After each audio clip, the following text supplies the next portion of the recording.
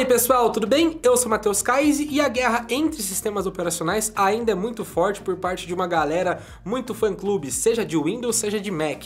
O Windows, como a gente sabe, segue dominando o mercado, tem muito mais usuários que macOS, né? E cara, é aquela coisa, o Windows é outro patamar, digamos assim, em números de usuário. Mas o macOS ele tem ganhado muita força ultimamente. Eu vejo muita gente comprando os novos MacBooks com chips M1, M1 Pro, M1 Max, enfim. Até porque eles são muito, mas muito bons mesmo. Só que o Mac é aquela coisa, o Mac só tá em Apple. O Windows tá na Dell, tá na HP, tá na Microsoft, na Asus, tá, sei lá, na Xiaomi, em várias outras empresas, em várias outras plataformas. E é aquela coisa, né? Às vezes o Windows é melhor que Mac e às às vezes o Mac é melhor que o Windows. Pensando nisso, vamos aqui às 5 vantagens do Mac em relação ao Windows, logo após a vinheta.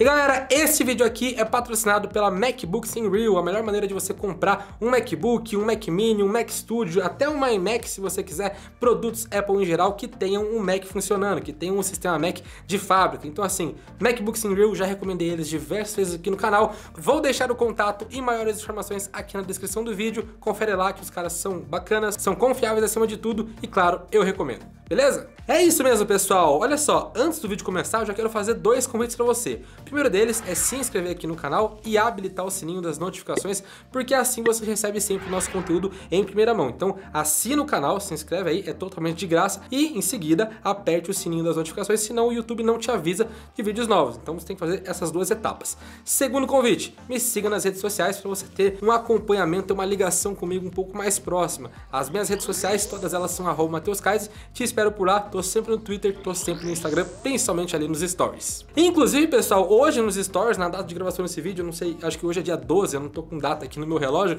mas hoje, dia 12 de abril, eu configurei o meu Mac Studio, ele está aqui atrás de mim, vocês estão vendo apenas o monitor aqui, com o wallpaper do Mac e tudo mais, né? E cara, o Mac Studio é um computador muito, mas muito top mesmo, é tipo um Mac Mini, só que ultra master potente, inclusive o meu chip M1 do Mac Studio é o M1 Max, é muito, muito bom, e vão sair outros vídeos aqui no canal a respeito desse computador, então ó, já é um outro motivo para você se inscrever. Em breve teremos Mac Studio aqui, viu? Mas vamos lá, sem muita enrolação, sem mais delongas, vamos ser rápido, objetivos, diretos aqui, começando então com a primeira vantagem. Eu diria que a primeira vantagem é segurança. Já era o conhecimento de muitos que o Windows é sim um sistema operacional mais visado quando o assunto é vírus. Isso é bem óbvio na verdade, até porque como o Windows ele tem uma base muito maior de usuários, as pessoas que criam vírus, no caso crackers, hackers, eles têm que pensar de uma maneira mais inteligente, ou seja, eles têm que pensar assim, olha, eu, se criar um vírus, eu vou atingir 2x de usuários no Mac. Agora, se eu crio um vírus para o Windows, eu vou atingir 10x. Então é muito mais inteligente eu fazer um vírus para o Windows do que para o Mac. Entendeu? Ele oferece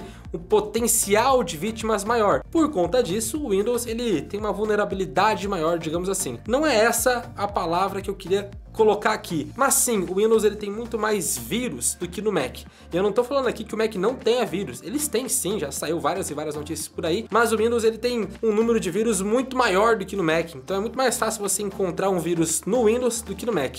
Inclusive eu quero falar aqui que eu utilizo o Mac há mais de 10 anos e nunca achei um vírus. Já até utilizei antivírus vírus no meu primeiro ano utilizando Mac, depois eu vi que era besteira e nunca tive vírus. Agora, se você tem vírus, se você usa um antivírus e ele já apontou alguma coisa, me deixa aqui nos comentários que eu tô curioso. Mas a primeira vantagem seria segurança. E ah, antes de finalizar esse tópico de segurança, eu gostaria de falar aqui que raramente aparecem brechas de segurança no Mac. No Windows é um pouco mais comum. Ou melhor, ambos são difíceis de aparecer hoje em dia, mas é mais comum no Windows do que no Mac. E quando aparece no Mac, a Apple tem um controle meio que quase absoluto dos seus produtos, porque o Mac é só para Apple, né? Só para dispositivos MacBooks ou iMacs ou Mac Minis, enfim. E aí já aparece uma atualização de segurança e você já faz a atualização ali totalmente de graça e tá tudo certo. Então assim, o Mac ele é melhor nesse quesito e ponto final. Se você não concorda comigo, não tem problema, não precisa me linchar nos comentários, é só comentar abaixo, eu quero ver o seu ponto de vista também, caso você seja seja um usuário do Windows mais avançado. Segunda vantagem aqui seriam os programas exclusivos. Na verdade, essa é uma vantagem que serve tanto para o Windows como também para Mac, né? No caso aqui é uma vantagem para Mac, então vou listar alguns programas que eu acho que são muito legais para o Mac e que eu gostaria que tivesse para o Windows. Aliás, muitas pessoas do Windows gostaria que tivessem para o Windows também. Eu posso dar como exemplo aqui o Logic Pro, que é um ótimo software para quem trabalha com áudio profissional, seja mixagem de música, gravação de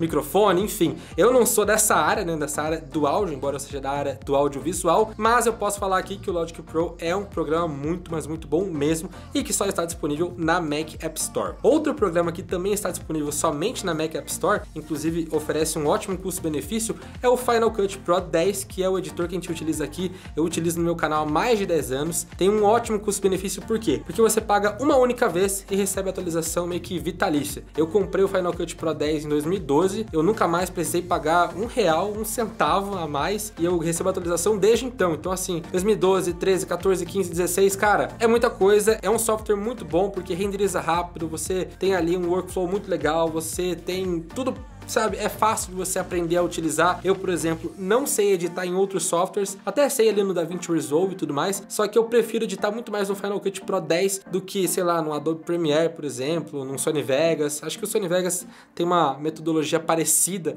com o Final Cut Pro e só está disponível para o Windows, então é mais um, uma das vantagens do Windows, podemos dizer assim. Mas eu acho que o Final Cut Pro ele tá acima de um Sony Vegas, não conheço, não vou falar aqui com propriedade, é um puro achismo meu. E o Final Cut, o Logic Pro, entre outros programas, estão estão disponíveis apenas para Macs e essa é meio que uma vantagem, programas exclusivos. Aliás, esse vídeo aqui está sendo editado inteiramente no Final Cut Pro, que eu comprei lá em 2012, quando o dólar era dois reais, eu paguei mais ou menos uns 600 reais. Hoje em dia você encontra ele na Mac App Store, sei lá, por 1.200, mil reais, com um pacote Pro sei lá tal. Não me lembro agora, mas ainda assim vale muito mais a pena do que pagar 50, 60 reais num Adobe Premiere mensalmente. Nem sei quanto é, porque eu não tenho e não preciso pagar mensal. Eu sei que Adobe Premiere não dá pra você pagar uma vez só e ter ele pra sempre, coisa que dá para você fazer no Final Cut Pro e ainda assim receber vários e vários anos de atualização. Então esse é um ponto que eu quero frisar aqui. Programas exclusivos, principalmente os feitos pela própria Apple. Terceira vantagem aqui, pessoal, eu tô falando terceira mostrando seis dedos aqui, né? Mas a terceira vantagem seria a integração com outros produtos da Apple.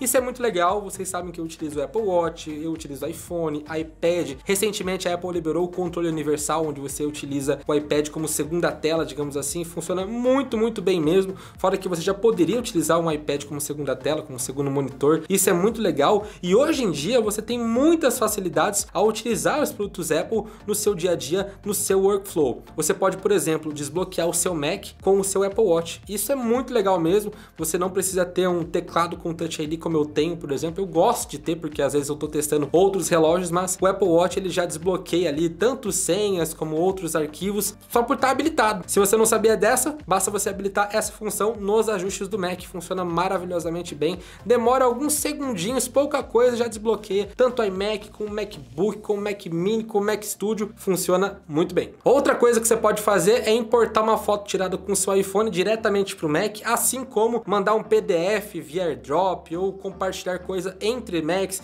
entre Mac e iPad, Mac e iPhone, iPhone e Mac, tudo isso funciona tanto em iPhone como no Mac, é aquela integração, integração Apple que funciona muito, muito bem mesmo. Outra coisa que eu posso citar aqui é começar a escrever um e-mail no iPhone e terminar no Mac, ou vice-versa, ou copiar alguma coisa no Mac e colar no iPhone. Eu utilizo demais isso quando eu quero copiar um texto, muito mais fácil copiar pelo Mac, né, pelo mouse, e aí eu colo no iPhone, ou vice-versa também, né, pessoal? E um dos recursos que eu tenho utilizado bastante também é abrir uma aba, né, no Safari do iPhone e continuar no Mac. Então assim que você abre, já aparece ali o ícone do Safari na dock, né, mostrando que você está ali no iPhone ou no iPad e você consegue continuar no Mac. Muito, mas muito legal mesmo. Muito bom mesmo, mesmo, mesmo. E eu tô olhando aqui os AirPods, outra coisa que eu posso citar aqui da integração que é muito legal é poder utilizar os AirPods no Mac e caso você receba uma ligação no seu iPhone, você pode atender diretamente nos AirPods, porque os próprios AirPods já conseguem fazer essa troca automaticamente para o iPhone e por aí vai. Então tudo é muito inteligente e esse ecossistema Apple fica cada vez melhor. A cada atualização fica mais legal. Fora que você consegue utilizar o FaceTime para fazer ligações utilizando seu iPhone, ou mesmo fazer FaceTime com outras pessoas, seja de áudio, seja de vídeo, utilizar o iMessage e por aí vai. Tem várias vantagens se você utilizar um produto Apple, principalmente se você utilizar vários. A quarta vantagem aqui, pessoal, é algo bem interessante porque a gente já está falando aqui sobre os novos produtos da Apple em específico. A Apple, ultimamente, ela lançou ali, né, o suporte a processadores ARM, né, com o lançamento do Apple Silicon. A gente viu aí que a Apple lançou MacBooks com chip M1, não só MacBooks como iPads, temos Mac Mini, iMac aqui no caso, temos também aí os MacBooks Pro com M1 Pro e M1 Max, o novo Mac Studio com M1 Max e M1 Ultra, todos são chipsets ARM e são muito bem feitos. Acontece que a Apple, quando lançou esses chipsets ARM, ela largou a arquitetura x86 pertencente a processadores Intel e tudo mais. O Windows também fez isso com a Microsoft, ou melhor, a Microsoft também fez isso com o Windows, lançando uma versão do Windows com suporte ao ARM. Só que esse suporte ele é muito limitado, coisa que não aconteceu com o Mac. No começo, né, no comecinho assim até poderia ser, só que o Mac ele já saiu muito bem feito, muito bem preparado, até porque a Apple deu uma janela boa para que isso acontecesse. Só que o Windows até hoje tem pouquíssimos apps funcionando. E os que funcionam, os que estão ok, eles só podem ser baixados diretamente pela própria loja do Windows, que tem uma variedade bem limitada por enquanto. Então assim, o Mac ele ganha não só na compatibilidade com o ARM, como também na disponibilidade de aplicativos para o mesmo. A Apple, para quem não sabe, trouxe o Rosetta 2, que é uma tecnologia de tradução de código que permite que aplicativos feitos para arquitetura x86, ou seja, aplicativos feitos para processadores Intel, funcionem nos novos processadores dela, no chip M1, M1 Pro, M1 Max, M1 Ultra e por aí vai. Funcionem em processadores ARM. E olha, eu vou te dizer que como usuário de chip M1 há mais de um ano, um ano e meio mais ou menos, eu sinto que não tenho o que falar. O chip M1, M1 Pro, enfim, esses chips M da Apple são revolucionários e eu posso afirmar para vocês que o Rosetta 2 funciona perfeitamente. Eu nunca tive problemas de, ah, não funciona aqui porque esse programa é para Intel. Não tenho isso. Inclusive tem até notícia aí na internet que mostra que aplicativos feitos para processadores Intel funcionam melhor em Macs com chip M1. Isso no Rosetta 2. Imagina quando eles forem adaptados de verdade para o chip M1. O negócio vai voar, vai decolar. Inclusive tem gente que já fala: "Não, esse MacBook é um avião, isso aqui é uma nave, tal, tal, tal". então tem esses apelidos por quê? Porque os processadores que estão equipados nele são realmente fantásticos. E a última e quinta vantagem do nosso vídeo, tem até outras vantagens, você pode deixar aqui nos comentários, fica o convite, aliás, é uma coisa super legal do macOS, que é o suporte a gestos, pessoal. Eu utilizo aqui o Magic Mouse, que é um mouse direto da Apple, é vendido separadamente, a não ser que você compre um dispositivo que já venha com ele, como por exemplo o iMac, você consegue ter com o Magic Mouse ou com o Magic Trackpad. E o Magic Trackpad é muito legal, porque é aquele trackpad normal de computador, só que é um trackpad Apple, é um Apple usado, digamos assim, que oferece vários e vários gestos. Funciona muito legal mesmo. Eu mostrando ali pro meu amigo que comprou o MacBook, falei, ó, passa quatro dedos para cima você ativa o multitarefa. Faz esse movimento aqui que você ativa os aplicativos. Faz esse movimento que você passa do computador. São vários gestos, né, que você ao longo do dia, no seu workflow te ajudam demais, tanto em Final Cut, né, para você editar, como no Photoshop, como no Safari, como para texto, como para tudo. Eu acho que o gesto do Mac não chegou nem perto do Windows chegar ali, saca? Eu até buguei para falar aqui. Eu acho que, pessoal, até hoje, vamos lá tentar explicar de uma maneira melhor, né? Os gestos do Windows não chegam nem próximo dos gestos do Mac. Eu já vi mexendo em alguns computadores Windows melhores que já tem alguns notebooks que oferecem gestos que até que são legais. Só que o Mac ele é muito superior, porque, né, tá há anos nisso. E, tipo, o trackpad do Mac é o melhor que tem no mundo. E eu duvido alguém conseguir falar o contrário. Alguém me provar o contrário. Tem que, tem que ser um produto muito louco que eu não conheço por aí. E olha só, né, pessoal, eu sei que a maior parte das pessoas que vão comprar um Mac vão comprar um MacBook. E o trackpad já está embutido no MacBook, em qualquer MacBook. Então, é aquela coisa, você comprando um MacBook, você ganha esse trackpad automaticamente. E é um mega trackpad. Eu falo puta trackpad aqui porque é muito, muito bom mesmo. Os gestos funcionam tanto no Magic Trackpad como no Apple Magic Mouse. E cara, esse Magic Mouse também é outro que tem menos gestos. Eu prefiro utilizar ele porque eu gosto do mouse. Não é um mouse tão ergonômico como a galera fala, só que como eu utilizo ele há mais de 10 anos, eu tô super acostumado, eu prefiro ele. Tem gestos, tem. Cara, ele é fantástico. Ele é fantástico, ele é muito bom, ele é tudo de bom. Ou pode ser tudo de ruim, dependendo da sua visão e da sua utilização. Mas é isso aí, chegou ao fim o nosso vídeo aqui de 5 vantagens do Mac em relação ao Windows. Calma que vai sair aqui no canal 5 vantagens do Windows em relação ao Mac. Tô preparando, calma lá, calma lá. Se você gostou do nosso vídeo, deixe seu gostei aí embaixo, se inscreva aqui no canal e habilite o sininho para sempre receber as nossas notificações de vídeos novos. Me siga também nas redes sociais, tem Twitter e tem Instagram. Eu sou arroba Matheus Kais em todas elas. E eu vou ficando por aqui. Até mais, pessoal. Tchau, tchau. Fui!